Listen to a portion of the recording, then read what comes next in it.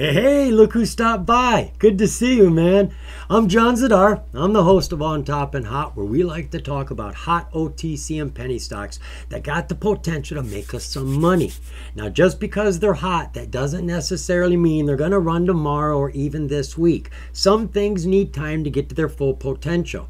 So, with that in mind, I think Spey Resources is a good company to look at. This is an up and coming mining company in Canada. They are listed on the Canadian Securities Exchange, ticker SPEY, and here in the US on the OTC markets, their ticker is SPEYF. Now, I'll go into more details about this in a little bit, but they've got mines here in Canada and Argentina as well. And some of those mines do deal with silver, but their primary thrust, their primary push is into lithium. And why not, folks? It is an exploding market right now. I mean, we've had lithium in batteries for quite a while. We put them in our toys, we put them in our gadgets and devices. But then came the onset of COVID, and everything changed. Now, I'm not saying COVID had anything to do with lithium, but curiously enough, it seems that the whole world at that time together got on the same page of ending the ice age. What I mean by that is getting rid of the internal combustible engine. They were going to electric vehicles all at the same time we thought this. I don't know why, but it is happening, and lithium is rising in value right now. She hit her highs in 2017, but in 2021, she went up almost 400%, and it is still rising. And now we got businesses popping everywhere, making all kinds of electric vehicles that need electric batteries. We have uh, massive battery gigafactories popping up. We even have these energy storage systems that you can install at your house or your business. So lithium is going through the roof and it is a base substance in high quantities in the world. You just got to get it out but that can be rather expensive, which is where this company is different. They have an extraction process completely different than anybody else with a company that has the technology to do this, and they look to be making a joint venture with that company as well. It's greener, saves water, saves time, and saves money. Everything everybody loves. We're going to jump on into the most recent financial disclosure first because this has a lot of information in it that we can build on. Now, we're not going to look at everything, but I do want to tag on to the financials and some of the history about how they got hold of these claims, the companies they bought them from. And that's important. It's what I want you to pay attention to. You're going to see these names of these companies pop up again. They have got relationships with the new CEO, Mr. Thomas of Spey. So I think this is going to be a leg up for the company. Now, this financial disclosure just came out a month ago, August 31st, and it covers a period of nine months. Looking at their financials, just tagging on to them, I want to look at their current assets. At the end of August, just a month ago, they were at $4.7 million total current assets. Nine months ago, they were at 3.9 million. So they have increased about 18%. Their liabilities have also increased huge, but it's still far beneath their assets at 1.4 million. So they are looking good. Now, that's about all the financials I want to cover with you. So I want to tag on to some history here. Spey Resources was incorporated on July of 2017. In April of 2021, the company entered into a share purchase agreement with Tech One Lithium Resource. Subsequent to the transaction, Tech One obtained control of the company, which resulted in a reverse acquisition. And pardon my scrolling, but the next piece is way down here. I just zoomed by it. All right, this is how they acquired the properties in Argentina, which is where they're doing most of their hard labors right now. This is in regards to the Candela 2 project. It was March of 2021. Tech One entered into an option agreement with AIS Resources. The company has the option to acquire up to 100% interest in this mine, known as the Candela 2. Now, there's other pieces of property they're after too from the same company. They are after the Poquitos 1 and Poquitos 2 from AIS Resources, and they have the option to acquire 100% of them as well. Then, on March of 2022, the company entered into an assignment agreement with Recharge Resources to assign their rights to acquire 80% of Poquitos 1. This is different. This is PACI. This is POCI. So these are different pieces of property. So we have AI resources and recharge resources bringing three or four pieces of property to them right now. And is there anything else I got for you? I think there's one more all the way at the bottom, right there. On September 28th, the company announced that it had entered into an agreement to acquire all the shares of Lithium Energy Metal Corporation, which gave them four projects in the James Bay region of Quebec. Now let's jump into some news starting from October 4th going forward. They have been doing a lot and it's going to explain a lot. We're going to take a look now at some news presses that have just come out here recently. We don't have to go too far back. From October 4th forward, and each piece of news is really important and big. I would almost call them all material changes. They're building blocks. I think this company is getting ready to lift off. I see them doing a lot. Now, what I want to do first here is give you a bite-sized piece of information of what this company is all about so you can see it nice and easy.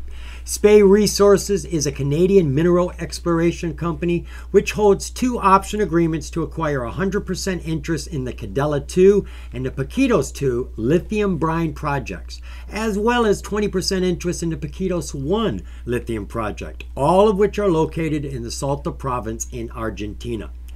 Now, Spey also holds an option to acquire 100% interest in the Silver Basin project, as well as 100% interest in the Kaslo Silver project, all in Canada, both in British Columbia. So they have these silver mines in Canada, and they've got the lithium mines over in Argentina. Matter of fact, where their mines are at, they call that area the Lithium Triangle. Not just this company, the world. They call it the Lithium Triangle. And here they tell us that the company is pleased to announce it has completed exploration activities and has hit multiple lithium brine aquifers in the Akusi Salar, the lithium triangle. We are pleased to report a planned five hole production drilling program in the coming months.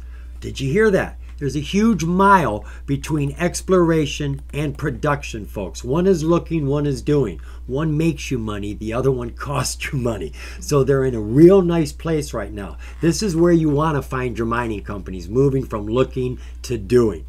Let's take a look at that first piece of news. This came out January 4th, uh, excuse me, October 4th. And they tell us here that Spey Resources announces appointment of lithium brine expert Philip Thomas is Chief Executive Officer. They're not blowing hot wind here, folks. He is an expert in his field. I'll try to shine a little light onto that for you. So they tell us here on October 4th that Spey Resources was pleased to announce that Philip Thomas joined Spey as CEO, the Chief Executive Officer, effective October 3rd. Now, Mr. Thomas is a highly specialized lithium brine geologist with significant experience in Salt Lake Salar's exploration hydrology, estimation, and production chemical engineering. He has had more than 30 years' experience in the capital markets as mining focused investment banker with Macquarie Bank and ABN AMRO. He knows how to look at a company and see if it has value. He's been working with the banks. Now, here's the proof in the pudding. The man has been CEOs of other companies. In 2003, Mr. Thomas and his team at Admiralty Resources explored and built a lithium carbonate extraction process and a plant in Rincon Salar, Argentina, which was sold recently for $825 million.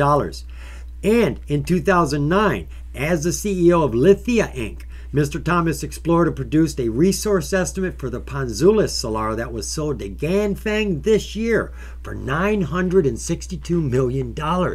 Folks, who else do you want at the helm of your ship? God almighty, this guy's had two companies already and he's got $1.8 billion worth of sales under his belt now for the last two lithium companies he was with. Isn't this the right man for the job? Mr. Thomas is also a shareholder and founder of EcoSolve, we're going to talk about EcoSolve because they're going to be the primary difference to how fast this company makes money and what puts them ahead of the other lithium mining companies.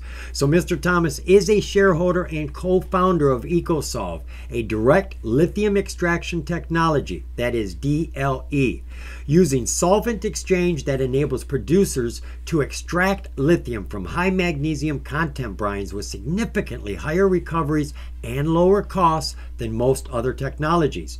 EcoSolve Limited is currently developing a construction plan for a 20 ton lithium carbonate mini plant in partnership with Spey Resources, who has licensed the EcoSolve technology.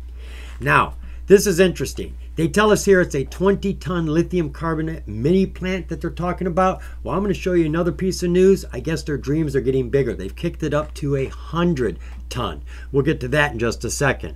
But you see here that he is involved with EcoSolve. He is a co founder and a shareholder.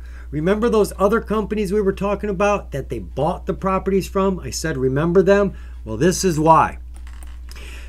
These were pieces of information I just grabbed up so you could see what I was talking about. The top one here, not only is he the CEO right now of Spey, but he is also the CEO right now, the bottom one here, AIS Resources, which is one of the companies they have been getting properties from. Then there in the middle, Recharge Resources. Phil Thomas, he is QP and consulting geologist to Recharge. So you can see he's involved with all these companies. He's got to be an integral asset to the company. And as you're going to see with EcoSolve, there's more to be gotten here because they're thinking about doing a joint venture with them. And that would make all the difference in the world. The next piece of news we got here came out on October 7th. Spey Resources Corp completes acquisition of Lithium Energy Metal Corporation. Now, we did touch on to this in their financial report. They got four pieces of property. They tell us here that Spey Resources has completed the acquisition of 100% of Lithium Energy Metal Corporation. LEM holds interest in four projects in the James Bay region of Quebec, near projects held by Patriot Battery Metals Inc. They're also on the OTC market. The projects vary in distance from PMT's projects, one of them being within approximately one kilometer of the border.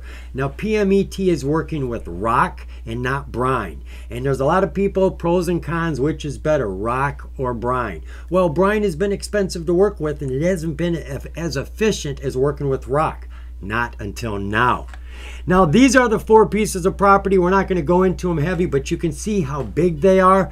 They each have their own name. The 454 block has 10 continuous claims and covers 513 hectares, as does the Westlake Corvette project. 10 continuous claims, 513 hectares, but they get bigger. The Triez project consists of 50 claims covering 2,500 heca acres, and the Solomon project has 100 claims and covers over 5,000 heca acres. So they got a lot in that deal. Next piece of news came out October 26th. Spey Resources Corp announces intention to commence normal course issuer bid. You can kind of think of this as a share buyback. Spey Resources Corp is pleased to announce that it intends to commence a normal course issuer bid under which it may purchase up to over 5 million of the company's common shares, representing approximately 5% of its issued and outstanding shares. The NCIB is expected to commence on or about November 2nd and to terminate November 2nd next year or earlier. All shares purchased under the NCIB will be purchased on the open market, right? So that's going to help. It's going to keep the volume up. All shares purchased under the NCIB will be canceled. That's going to make for a permanently smaller float, smaller outstanding share count. Oh, hold me back, Lucille. This is where it gets juicy, folks. This is coming out of the shadows and into the light. This is the knife cut. This is what sets them apart and different from all of the other lithium mining companies is this technology. And not just the technology, but the relationship that Mr. Thomas, the CEO of Spey, has with this company. And they are talking joint venture. I hope it's this piece of news that's in. So this came out October 28th. Spey Resources extracts 99.5% pure lithium carbonate using EcoSolve process from our flagship Candela 2 and Kahusi Salar project. Just let them tell it. I'm only giving them a chance to talk. Spey has acquired the first EcoSolve production license, which prioritizes the company to be the first client to commission EcoSolve to complete the construction proposal, preliminary and plant engineering and manufacturing of the plant at in Kahusi. The brines and the lithium carbonate that was produced are being assayed and inspected by an external laboratory to validate and corroborate the results achieved by the University of Melbourne and the EcoSolve team. They're pretty impressive, folks. The brine was subjected to 10 phases of continuous processing that took approximately 22 seconds for the solvent to extract the lithium in each phase. The 10th phase had extracted 135 grams out of 145 grams, which was a 96.3% recovery rate. The purity of the lithium carbonate was set at 99.5% based on the sodium carbonate used to convert the chloride. EcoSolve is planning to build a 100 ton mini plant in Salta See? And the company is in active discussions with EcoSolve Limited regarding a potential joint venture opportunity. And I read someplace else, I hope I got it someplace, they want to put EcoSolve on the market as its own entity. And I'm sure they would probably do that through the NASDAQ, but they didn't mention that. They just said they wanted to come onto the open market. So you've got this company who is the CEO and is part of EcoSolve, who wants to joint venture. No, yeah, joint venture with our company. I mean, don't you see all of the synergistic power that could be created here? I am quite excited by this. Did I have anything else here to say? No. But I want you to understand this EcoSolve situation. This is the difference, folks, and I'm going to keep it as easy as possible because it isn't very technical, to be honest. This is an article Race of Technologies No New Lithium Brine Projects Without Direct Extraction, DLE. Uh, they tell us here experts agree that all available deposit types need to be developed brine deposits, hard rock deposits, clay deposits. However, currently, brine deposits are being bought by large Chinese corporations for big money in Argentina, Chile, and the USA. But judging by declining share prices, these projects now seem to have a harder time with investors. While the pendulum of investors' favor is swinging toward hard rock projects, some of which have been performed like a dream, like Patriot Battery Metals, ticker PMET on the Canadian market. Uh, I'm not quite sure what, it may be PMETF, eh, maybe on the American markets. The recurring arguments are that brine projects are mostly in South America, making them politically unsafe. Hard rock projects also exist in politically safe countries such as the US, Canada, or Australia. The second more important objection to brine projects is that they interfere with the delicate water balance because they're located in the desert.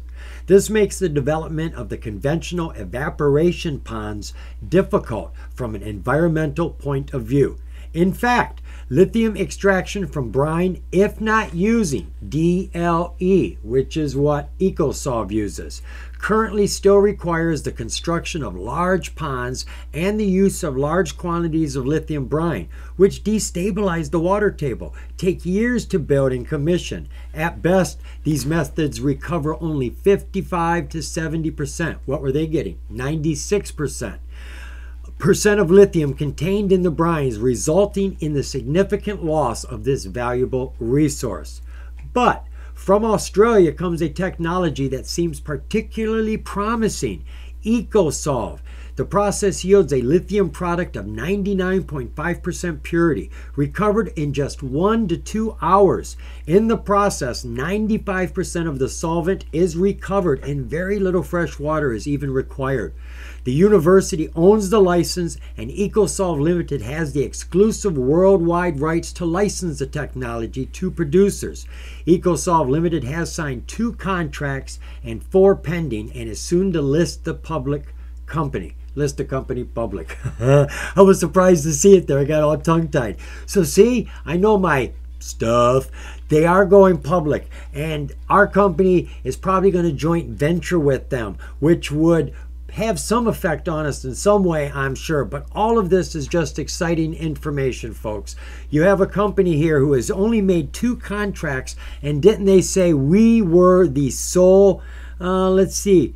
Yeah, Spey has acquired the first of EcoSolve's production licenses.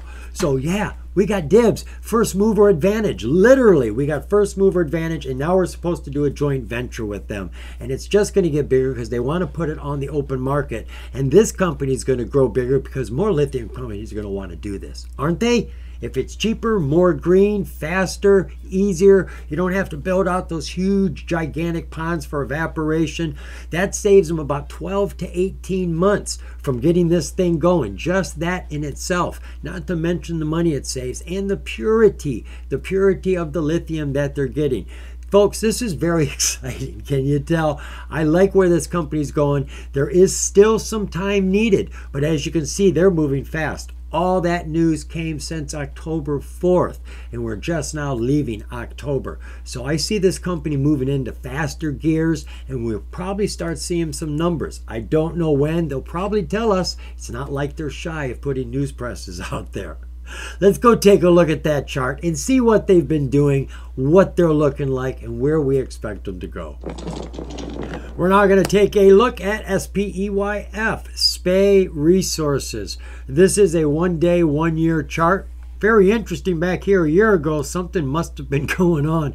We had uh, four days of spiking from about 20 cents to 31 32 cents. So you had yourself 50% pops day after day. Some big downs some big runs up. She does have a lot of activity and right now she is currently over her 200 day one year chart. Let's take a look at our six month four hour chart well, look at that. Our high bubble is on this side of the chart at 29 cents, and we did have a low here of one cent, though it just hit it real quick and bounced right up. This run right here, crossing the 200 that was almost a 300% gain. And she has been holding this. I mean she's been struggling but she's been holding on to that 200 day sma she did have another 100% run right here and she's giving it back right now. But look at all the volume that's coming to the picture right now. Our technicals do show she still is on a drop probably going to hit and test that 200 looking at our 20 day one hour so there's that nice run from a low of 14 cents up here to, well, that's over 100% run right there.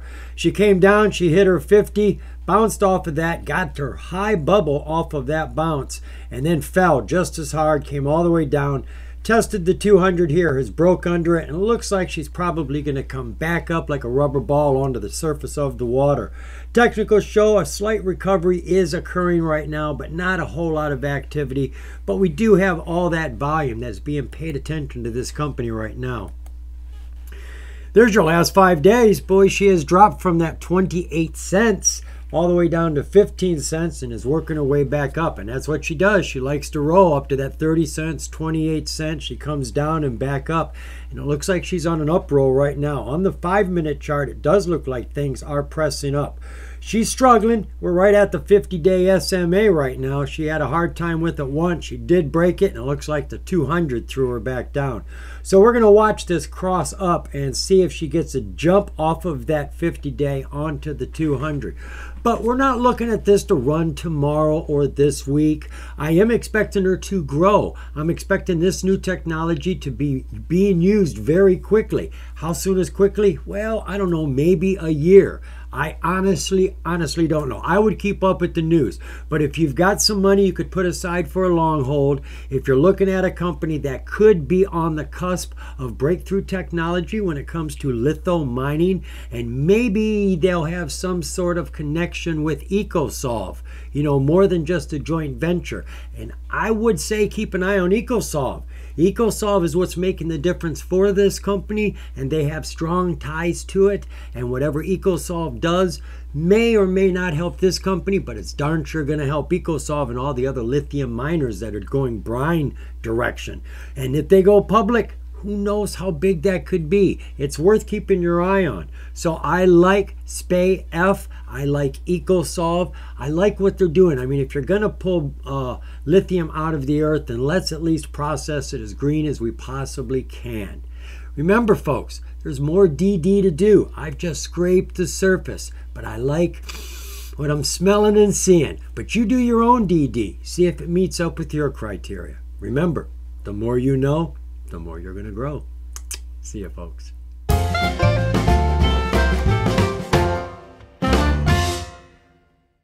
Para para pa para para pa pa para para pa para para pa pa tira di da do do do pa pa dum pow.